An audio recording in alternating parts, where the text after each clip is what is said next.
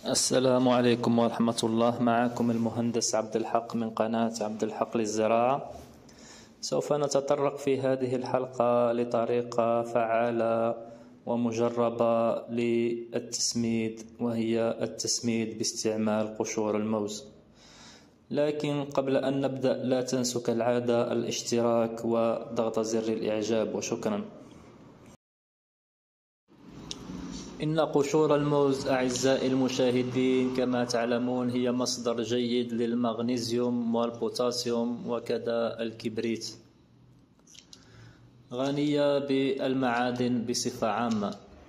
لهذا فإنها مصدر جيد للتسميد ودعم النبات الأخضر.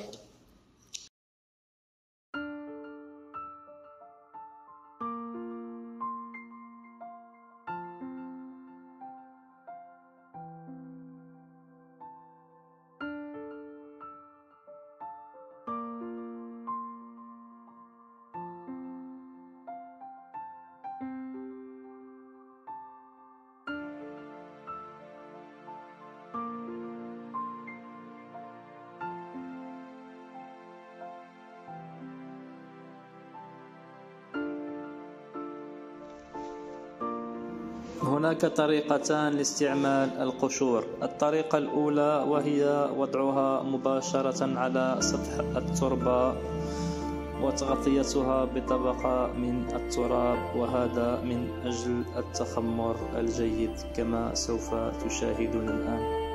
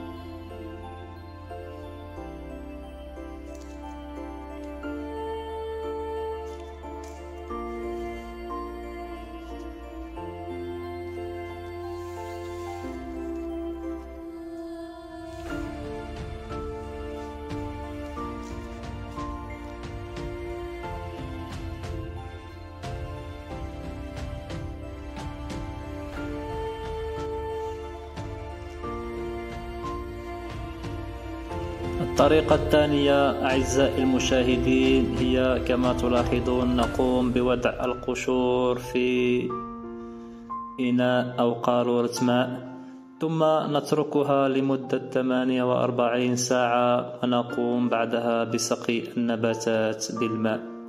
وفي الأخير أتمنى أن تكونوا قد استفدتم معنا. والسلام عليكم ورحمة الله تعالى وبركاته.